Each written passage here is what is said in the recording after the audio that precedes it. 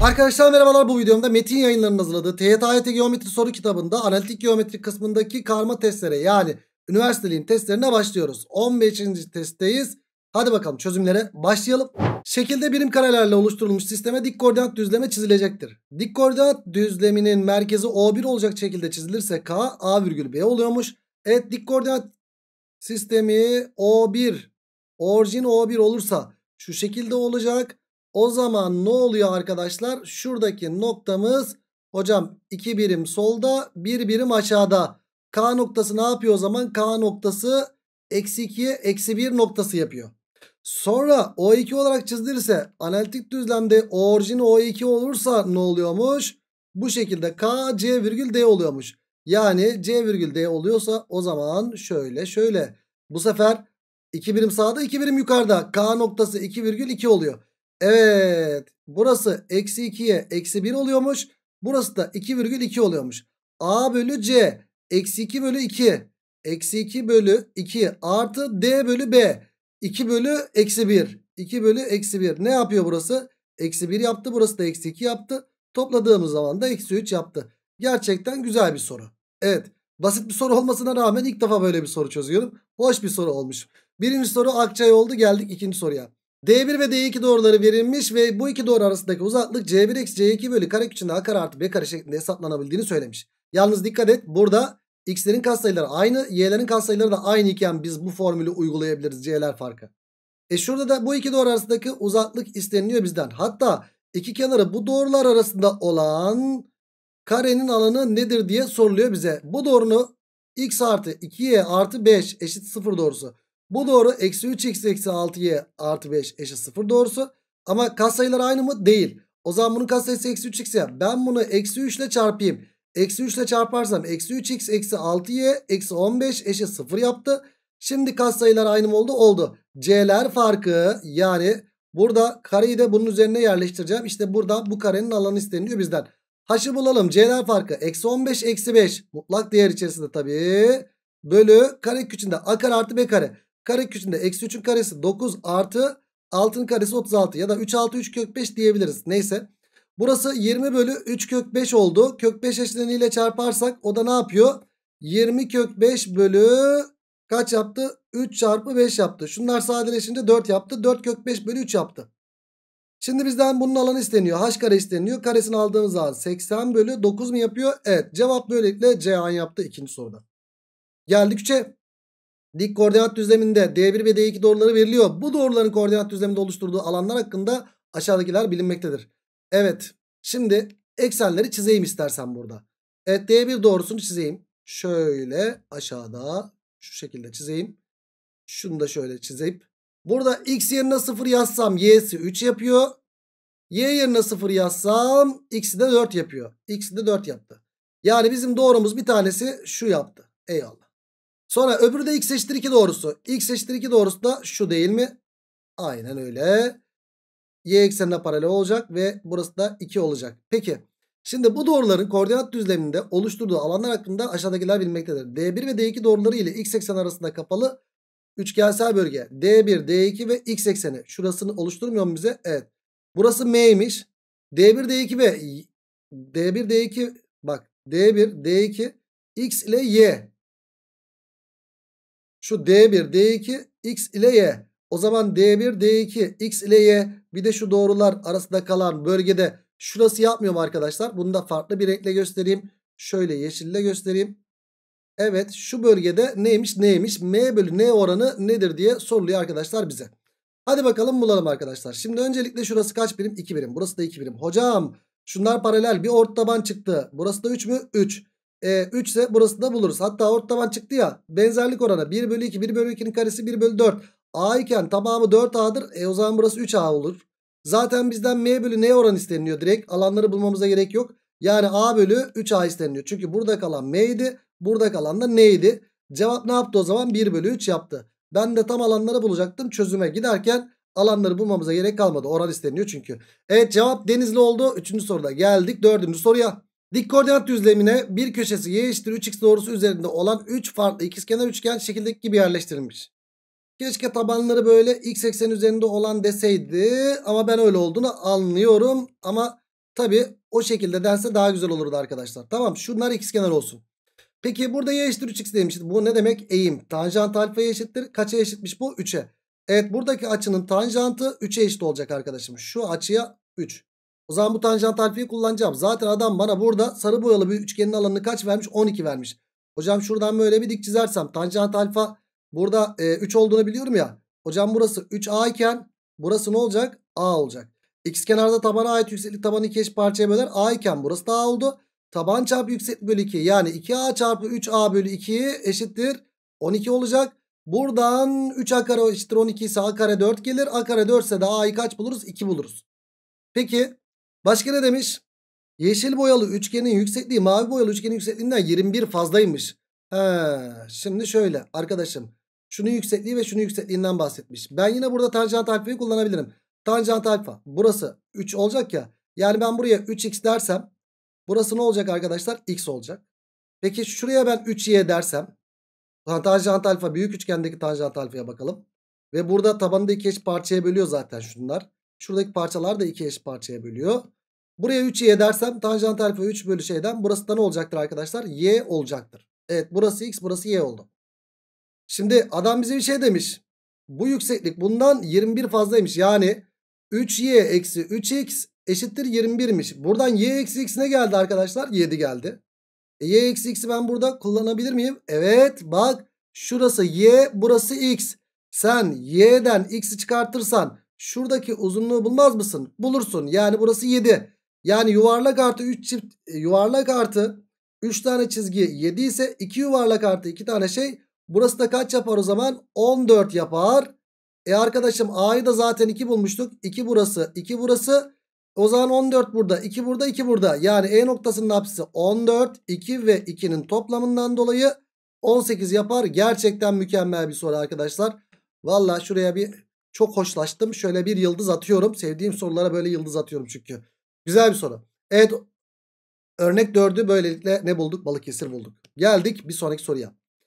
Döndürülerek birbirinin aynısı yapılabilen şekillere eş şekiller denir. Buna göre aşağıdaki şekillerden hangisi diğerlerine eş değildir? Vallahi iki tane mavi iki tane bu. Şöyle bakacağız arkadaşlar. Kırmızılar böyle yan yana. İki kırmızı. İki kırmızı ile iki mavi karşılıklı olacak. Şuraya bakıyoruz. İki kırmızı iki mavi. iki kırmızı iki mavi. iki kırmızı iki mavi. Evet iki kırmızı iki mavi. Tamam hepsinde aynı. Sonra ne yapacağız arkadaşlar? Sonra turuncu ve sarılar da böyle. Ama dikkat et. Şöyle saat yönünde. Sarı ve kırmızıdan bak sarı ve kırmızıdan saat yönünde dönünce sarı ve kırmızı saat yönünde dönerken sonrası turuncu gelecek. Sarı ve kırmızı kırmızı ve kahverengi tamam. Sarı ve kırmızı kahverengi geldi. Burada da sarı ve kırmızı kahverengi geldi. Ama burada sarı ve kırmızı gidince böyle şey olmadı. Yani nasıl gitmeliyiz arkadaşlar? Sarı kırmızı yönünde gidersek.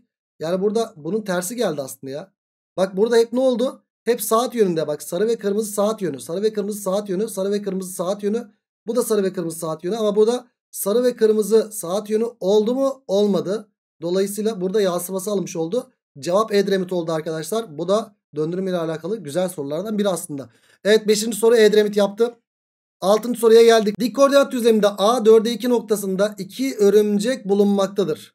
Bu örümceklerden biri önce doğu yönünde 2 birim daha sonra da kuzey yönünde bir miktar ilerleyip evet doğuda 2 birim gitti sonra kuzey yönünde bir miktar ilerleyip şuraya gelsin bakalım. Sonra bu nokta ne noktasıymış arkadaşlar? B noktasına ulaşmış. Evet kuzey ile doğu arasındaki mesafede burası da 90 derece olacak bir kere.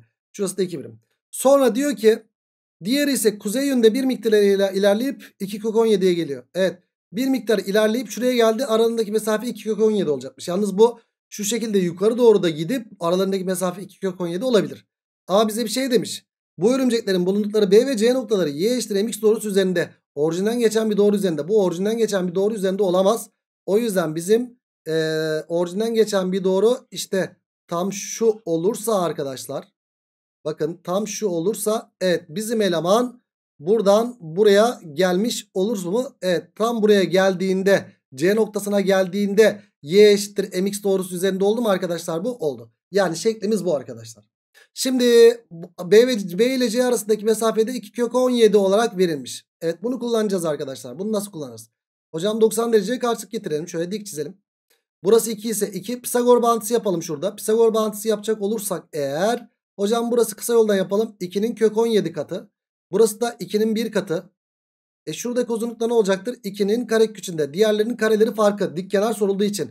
Kök 17'nin karesi 17 eksi 1'in karesi de 1. Yani kök 16 4 diye çıkar. 4 kere 2 8 olur burası. Bizden ne isteniyor bakalım soruya. Soruda A ve C noktaları arasındaki uzaklık. Oo şuradaki mesafe isteniyor. Buradaki x diyelim bakalım. X isteniyor. Hocam bu x'i nasıl kullanacağım? Bak 4'e 2 noktasını kullanmadın. 4'e 2'yi de kullan burada. Hocam şuradaki uzunluk kaç? 4. 2 iken buradaki uzunluk da 2 mi? 2. E bak x artı 2'ye ait bir dik üçgen var. Ve burada bir ne var aslında? Şurada da 90 derece ya. Yani elimizde şurada da bir üçgen var. Dikkat et. Güzel bir soruymuş gerçekten bu da. Şurada bir üçgen var. Şurada da bir üçgen var. E bunlar da zaten 90'lı sorular. Alfa beta'ya dalarsın. Alfa 90 beta beta 90 alfa alfa 90 beta. Yani sarı üçgenler ne oldu? Benzer. Benzer. Hadi bakalım benzerliği uygula. Yukarıda küçükten şuradakinden başlayayım. Alfanın karşısı x artı 2 bölü x artı 2 bölü buradaki alfanın karşısı 8 bulduk burayı. Eşittir beta'nın karşısı 4 bölü buradaki beta'nın karşısı 2. Şunlar sadeleşsin 2. x artı 2 eşittir 16 ise x'i de böylelikle kaç buluruz? 14 olarak buluruz. Gerçekten çok güzel bir soru. Bir yıldızı hak eden bir soru. Evet hoş bir soru. Yani siz burada cevap belki direkt 8 de diyebilirdiniz ama bizden ne isteniyor? Şuradaki uzunluk isteniyor arkadaşım. Şuradaki uzunluk. Çünkü A ile C arasındaki uzaklık isteniyor. E bunda 2 ve 4'ü de kullanmam lazımdı. Kullanınca da çok güzel bir şekilde çıktı. Verilen bilgileri kullandıran soruları çok seviyorum. Ki zaten bütün sorular öyle. O yüzden geometriyi çok seviyorum. Evet 6. soru Ceyhan geldik 7. soruya. Dik koordinat üzerinde bir köşesi y eksen üzerinde bir kenarı x eksenine paralel ve ağırlık merkezi orijin olan şekildeki eşkenar üçgen verilmiştir. Bu eşkenar üçgene bu dönüşüm hareketlerinden hangisi uygulanırsa üçgen görünümü değişmez. Şimdi arkadaşlar bu eşkenar üçgen ağırlık merkezi de burada. Orijin etrafında saat yönünde 60 derece döndürürsem. Orijin etrafında saat yönünde 60 derece döndürürsem. Arkadaşım bak 60 derece döndür bunu. Sen bunu 60 derece döndürürsen hop bu buraya denk gelecek bir kere. Saat yönünde. Bu buraya gelecek. E zaten bu buraya gelince bu köşe buraya gelince üçgenimiz şöyle mi yapacak arkadaşlar? Evet. Değişti mi şekil? Değişti. Olmaz. Aynısını istiyoruz. X eksenine göre yansıması. X'e göre yansımasını alınca bak yukarıdaki buraya geldi. Aşağıdaki de şuraya geldi şöyle. Şekil değişti mi? Değişti. Orijin etrafında saatin dönmenin tersinde 30 derece döndür diyor. Sen buradaki noktayı döndürürsen bir kere. 30 derece döndürürsen hop buraya geliyor. Üçgenimiz nasıl olacak o zaman arkadaşlar? İşte şöyle bir üçgen olacak. Şeklimiz değişti mi? Kesinlikle değişti. Sonra orijine göre yansımasını alsan. Orijine göre yansımasını alsan. Bunun orijine göre yansıması. Hocam şuraya denk geliyor. Yani orijine göre yansımasını aldığımız zaman şöyle bir üçgen olacak galiba arkadaşlar. Değil mi? Evet. Şekil değişti mi? Değişti. Orijin etrafında 120 derece döndürdüğümüzde. Şimdi dikkat. 120 derece döndürdüğümüzde. Bu noktayı 120 derece döndür. Hocam zaten bak şurası ağırlık merkezi ya. Şunlar 120'şer derece yapmıyor mu? Evet. Sen 120 derece döndürsen şekil buraya geldi. Bunu 120 döndürürsen buraya dön geldi. Bunu 120 döndürürsen buraya denk geldi. Yani A köşesi buraya geldi. Bu köşe buraya geldi. Bu köşe de buraya geldi. Şekil değişti mi? Değişmedi. Vallahi bu da çok güzel bir soru. Yani bu da bir yıldız hak etti. Böyle üniversiteliğin sorularını çok seviyorum gerçekten. Yedinci soru böylelikle Edremit yaptı. Geldik 8'e. Evet doğrularının sınırladığı bölgenin alanı 23'müş. O zaman analitik düzlem çizelim arkadaşlar. Şöyle özel durumlar var çünkü o yüzden analitik düzlemi hak ediyor burası. Hocam bir tanesi x artı y eşittir ki x yerine 0 yazsam y'si 2 yaptı.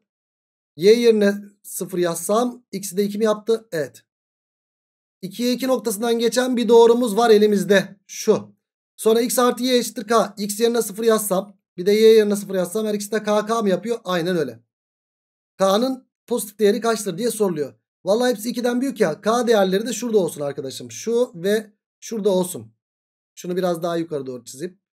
K değeri de vallahi biraz şıklardan yararlandım. K değeri bir burada bir burada arkadaşım. X yerine 0 yazsan y yerine de 0 yazsan K K yapıyor. Ee, o zaman bizim değerimiz doğrumuz nasıl oldu arkadaşlar? Şu şekilde oldu. Tamam.